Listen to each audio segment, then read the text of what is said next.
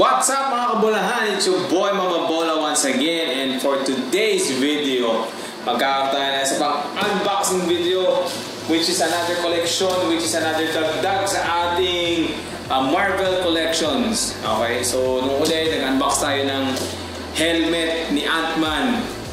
Ngayon naman, another helmet. And I am Iron Man. Ah, sabi nga ni Tony Stark, I am Iron Man. Okay guys, ready na ba kayong makita tong helmet ni Iron Man na to? Guys, this is something na talagang excited akong bilhin. Medyo, ano to, medyo pricey ko nabili. Pero hindi naman sobrang pricey, pero okay, okay ito. Goods yung presyo niya talaga. And ang hirap na maghanap ito. Buti na lang may nakitaan pa ako ng ganito na kasi hindi na talaga, talaga ko nagsisearch, wala akong makita ng ganitong item. So, shoutout sa Ano Toys, uh, sa, this is located in Taguig. And they have a website, anotoys.com, and they have a Facebook page as well, Ano Toys. And ito, ito yung Collector's Haven, itong store na to, talagang grabe yung mga collection dito, grabe yung mga tinda dito. Maglalaway ka. So guys, ready na ba kayong buksan itong box na to para makita ang ating Iron Man helmet? I am Iron Man.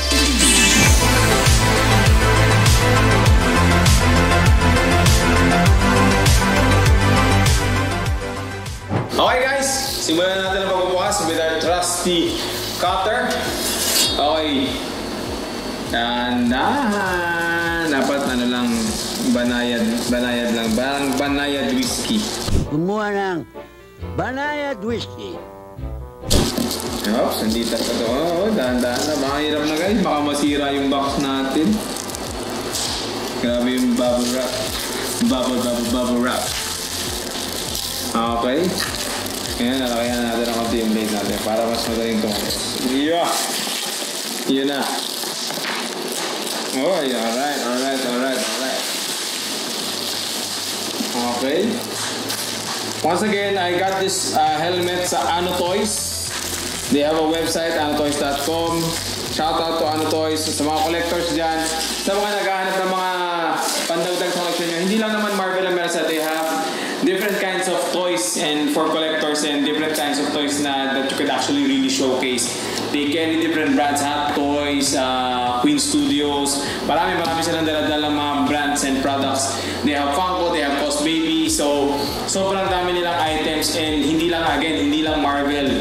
They have DC, they have Dragon Ball as well, if I'm not mistaken. So, sobrang dami lang items na nandun. And guys, sa mga gusto mag-collecta at gusto magsimula ng collection, uh, you can go wrong with Ano Toys. You check out yung uh, store ni Ano Toys, you check out the website, you check out the Facebook page, and you can actually visit their store at Taguig. So, guys, ako sa inyo, huwag na kayo magpatumpik-tumpik. Ito na. Ito na yung mga hinihintay natin. Grabe! Ganda ng box. Ang ganda ng box eh. So, kita nyo naman, Marvel license. There's marvel.com. Ayan na. So, yun pa yung sticker ni Marvel. So, this is the Iron Man helmet Mark 46. Ito yung ginamit ni Iron Man sa Civil War. So, ito yung nagbakbakan si Captain America at si Iron Man dahil kay Bucky. Dahil si Bucky yung may kasalanan kung bakit namatay ang magulang ni Tony Stark in ipinagtanggol or pinagtakpan ni ni Steve Rogers si Captain America si Bucky. Kasi nga uh, for Captain America, wala sa tamang katinuan si Bucky kaya niya ginagawa yung mga pinagagawa sa kanya, mga inuutos sa kanya, 'di ba? So ito na, buksan na natin ang ating uh, Iron Man helmet. Dahan-dahan lang tayo sa paghila. Medyo maganit. Ayun na. Bumukas yung ibabaw mga kapatid. We will now open it up. Ooh. Is so smooth eh. May love letter pa galing sa nila. Ay, sticker lang. Huwag natin tanggalin. okay. Ah. Ito, metal finish siya. Brushed metal finish. Grabe! Yan pa lang boss, kitang-kita nyo na gano'ng kalupit. Ay, silica gel to keep the moistures away. Grabe, dyan pa lang kitang-kita mo ng gano'ng ka-premium tong item natin na.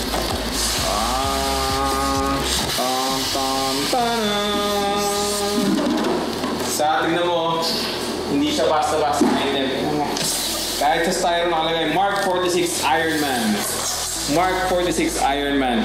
So itong Mark 46 Ironman helmet na to, kaya ito yung pag tinapik mo dito, wing, bumubukas.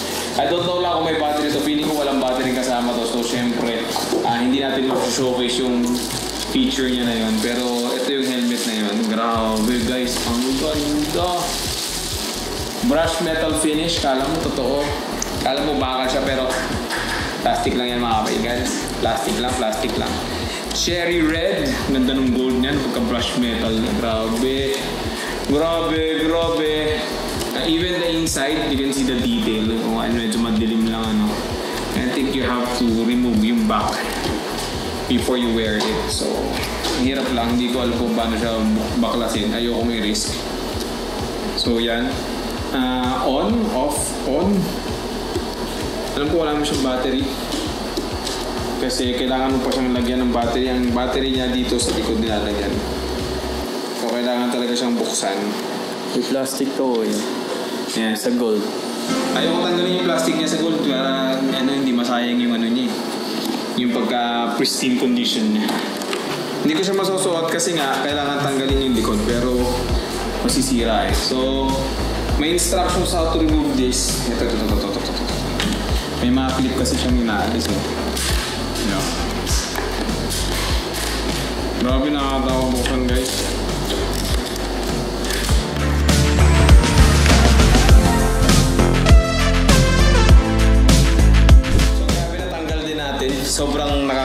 Siyang tanggalin kasi syempre ayaw mong masira.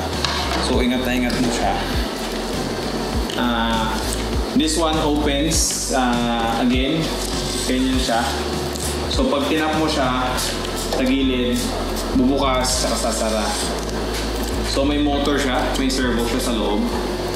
So if you can see the details inside, grabe. Kahit yung foam lang niya may details talaga. It's really nice well thought design. Ito yung lalagyan ng battery pack. So this is where you put the batteries in. So tsaka ko naalamin kung paano lagyan ng battery. So ito yan pag sinuot. So actually dalawang tao to para masuot ng, ta ng isang tao. Kailangan magpa-assist. Kasi syempre pag sinuot mo siya, kakabit ulit sa likod. So pag aalisin mo, patanggalin din ulit yun sa likod. Kailangan ko si Jarvis. Oo. Yan, ganyan yan. O, ayos ba mga kaibigan? Ah? Diba? Iron Man. Mamamalansya tayo mamaya mga kaibigan. Iron tayo tayo ng mga clothes. Sa sobrang dami natin binili mga laruan. Mukhang mag-iron talaga tayo. Ang ganyan, may motor yan. Pag tinapik mo yan dito, asara. Okay. Pag tinapik mo ulit siya, bubukas. Okay. So ito ang ating na latest uh, addition to our collection. So ibabalik ko na siya para hindi na natin malaspag. Okay. Tsaka na natin siya lalagyan ng battery sa tamang panahon. So far ngayon hindi natin siya lalagyan ng battery kasi ang ano naman talaga natin dito is to display and showcase our collection. So yun yung ating main purpose dito. Okay guys, so ibabalik ko na siya and I'll show you a full montage and a full uh, detailed look on this helmet. So guys, thank you for watching my unboxing video of this uh, Mark 46 helmet ni Iron Man which was uh, shown in uh, Civil War.